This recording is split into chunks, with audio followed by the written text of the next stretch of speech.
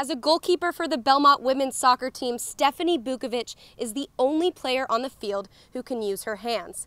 But when you put the ball at her feet, that's when the magic happens. Freestyle soccer or freestyle football is basically being creative with the ball, um, doing anything from using your head, using your feet, kind of just using your imagination. The Toronto native got her start after watching a freestyling event when she was 15. After the show, uh, I kind of went up to them, was talking to them, about uh, freestyle. They kind of gave me an audition. Uh, I showed up. They freestyled for them for a little bit. They loved me, told me to come back, and since then I've been with them since I was 15. Bukovec taught herself by watching freestylers on YouTube and mimicking the tricks.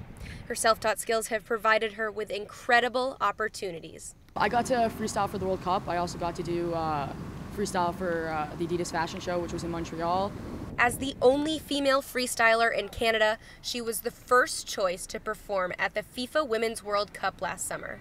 And it was always a bonus being a girl and you're freestyling for the Women's World Cup, which is absolutely fantastic. You have little kids that look up to you and uh, are inspired by you, so that was awesome. After her exciting summer, she made the move down to Belmont as a transfer from Oakland University in Rochester, Michigan. Bukovec said she's happy with the move. I like the coaches, I like the atmosphere. When I came here, I kind of got the vibe that the team was very unified, and I, I really, really like that. As a junior and nearing the end of her college career, Bukovec hopes to continue freestyling after graduation. I definitely do want to continue in two years. I'm probably going to be more focused on that, but first I want to see where soccer takes me. Until then, Bukovec is only juggling school and soccer. For Vision Sports, I'm Emily Proud.